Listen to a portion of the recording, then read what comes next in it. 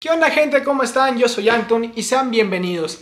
Este video va a ser un poco diferente a lo que normalmente estoy acostumbrado a hacer. No va a ser un tutorial, no va a ser un review. Simplemente va a ser un estilo de blog. Esta sección va a tratar de las cosas que yo he pasado a lo largo de mi carrera como productor y como ingeniero de mezcla. Voy a tratar de compartirles algunas experiencias, algunas dudas que yo tuve pues a lo largo de todo este tiempo y que a ustedes pues les pueda ayudar en cierto modo. Dicho esto, vámonos a la intro.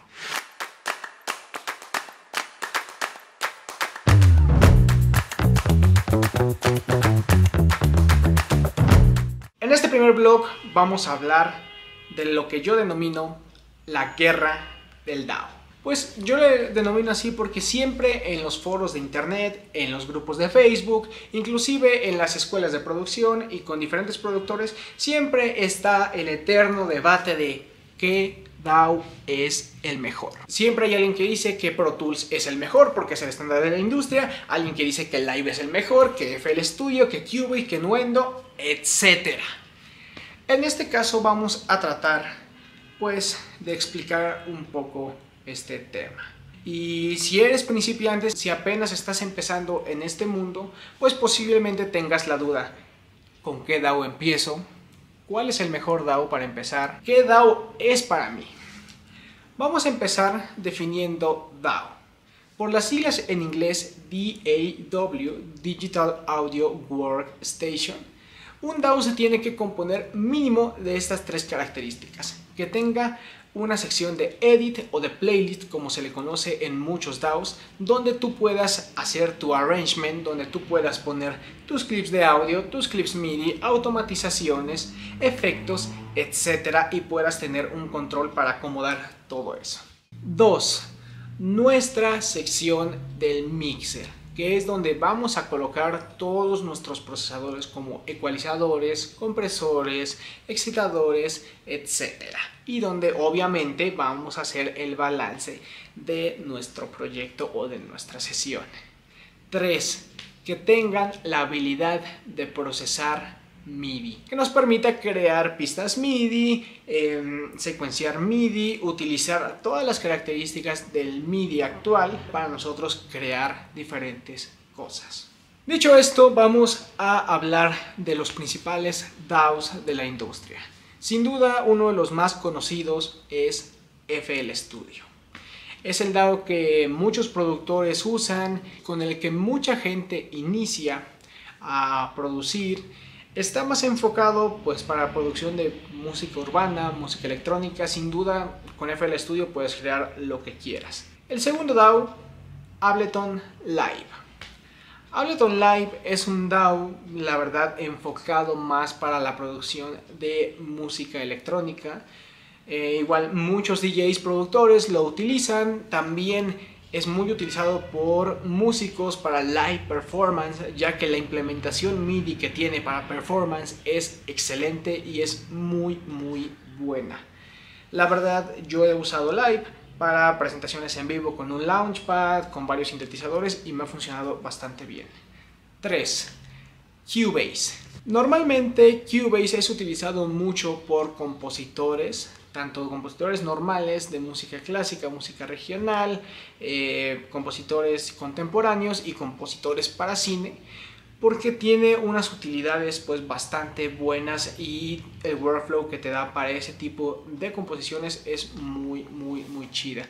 Sin duda también Cubase es considerado uno de los primeros DAOs de la historia, ya que Steinberg aproximadamente en el año 1984-85 lanzó un secuenciador MIDI de 16 canales o de 10 canales, la verdad no me acuerdo muy bien pero fueron las bases para que se desarrollara Cubase en sus primeras versiones. Además de que Steinberg es la compañía que creó los BST. Obviamente lo siguen mejorando conforme avanza el tiempo, pero ellos fueron pues, los creadores y los pioneros, obviamente. Siguiente DAO, Logic Pro. Este DAO totalmente enfocado para los usuarios de Apple es un DAO que la verdad nunca te va a dar problemas ya que está súper optimizado con los productos Apple y puedes hacer muchísimas cosas con él. Una persona importante que lo utiliza pues puede ser Phineas, el productor y hermano de Billie Eilish. Y pues la verdad, para mezcla, para producción, para composición, es muy bueno. El siguiente, considerado el estándar de la industria, Pro Tools. Pro Tools lo vas a encontrar en cualquier estudio del mundo. A cualquier lugar que vayas, no importa el país, el lugar, ciudad, siempre van a tener Pro Tools. Lo consideran el estándar de la industria por muchos ingenieros, por mucho tiempo, porque siempre ha estado presente en los estudios de grabación desde sus primeras versiones. La facilidad que tiene Pro Tools para los ruteos, para los buses, para trabajar de forma analógica o híbrida es muy buena. La verdad es súper intuitivo, pero en la parte de MIDI, según mi parecer, pues sí deja algo que desear. También tenemos a el competidor principal de Pro Tools, Studio One. Studio One toma lo mejor de DAWs DAWs, a mi parecer, tanto de Cubase como de Pro Tools, toma las dos mejores partes de cada uno y la suma en uno solo, Studio One. La verdad, muchos ingenieros, muchos productores han cambiado Pro Tools por Studio One. Em, la interfaz que tiene es muy intuitiva, es más intuitiva que Pro Tools. Está pues un poquito más moderna porque Pro Tools se quedó en la era de la canica. y pues incorpora funciones muy, muy, muy buenas. Pues ahora ya conocemos los principales DAOs de la industria. Volvemos al tema principal, la guerra del DAO. ¿Qué DAO es con el que yo debería de empezar? Yo te recomiendo tener siempre varias opciones y probar esas opciones por ti mismo que no le hagas caso a un amigo que te dice, oye, inicia con FL Studio o inicia con Live o este porque este está más chido para iniciar, quién sabe qué. Yo te recomiendo que tú pruebes todas estas opciones y así tú puedas decidir con qué DAO te vas a quedar. La verdad, em, siempre, siempre te recomiendo, eh, pues, ver los videos en internet, en YouTube puedes encontrar infinidad de videos sobre cada DAO, sobre las características de estos, que tiene, su facilidad, su interfaz sobre todo, para que tú puedas familiarizarte con cada DAO que vayas probando. Una vez que hayas terminado de probar la selección que hiciste de los DAOs, pues vas a decidir con cuál te sientes más cómodo a la hora de trabajar. Si te sentiste muy cómodo empezando con Ableton Live, pues inicias con Ableton Live. Si te sentiste cómodo con FL, inicias con FL y así con todos los DAOs. Si más adelante tú quieres cambiar de DAO, es totalmente válido. Al fin de cuentas es con lo que tú te sientas más cómodo a la hora de trabajar. Entonces, volviendo a nuestra pregunta, ¿cuál es el mejor DAO? La respuesta para mí es muy sencilla. El mejor DAO es con el que tú te sientas cómodo trabajando con el que tú tengas un mejor workflow, con el que tú puedas estar largo, largo, largo, largo tiempo trabajando, produciendo y te sientas súper cómodo con él. Por ejemplo, para mí el mejor DAO podría ser FL Studio porque llevo 7 años usándolo, mi workflow ahí es excelente, tengo un dominio al 100% de ese DAO y pues me gusta, me gusta la forma en la que se trabaja ahí, me gusta la interfaz, me gustan los plugins que trae, etc. Pero puede llegar, por ejemplo, mi amigo productor y me dice, oye, ¿sabes qué? Para mí el mejor DAO es Ableton Live.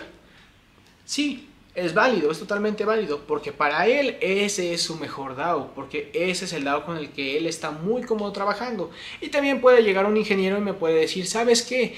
El mejor DAO es Pro Tools y te van a sacar la típica Industry Standard. Sí, para ese era el estándar de la industria porque posiblemente lleva muchos años trabajando con ese, es el DAO con el que se siente cómodo y por ende es el mejor DAO para él. Cada persona tiene su mejor DAO.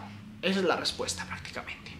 Es algo pues totalmente sencillo que no sé por qué toda la gente en los foros, en grupos de Facebook, siempre está debatiendo con el mismo tema en vez de compartir conocimiento. Es algo que siento que estará presente por los siglos de los siglos. Amén.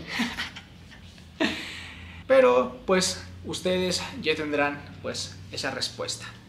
Si alguien tiene algo diferente, si alguien tiene una opinión que quiera compartir con nosotros, los comentarios están abiertos y pues ahí pueden poner pues sus opiniones al respecto. Si te gusta este tipo de contenido, estos blogs, pues espero su apoyo, también déjamelo saber aquí en los comentarios que están abiertos y pues si veo su apoyo seguiré subiendo más y más.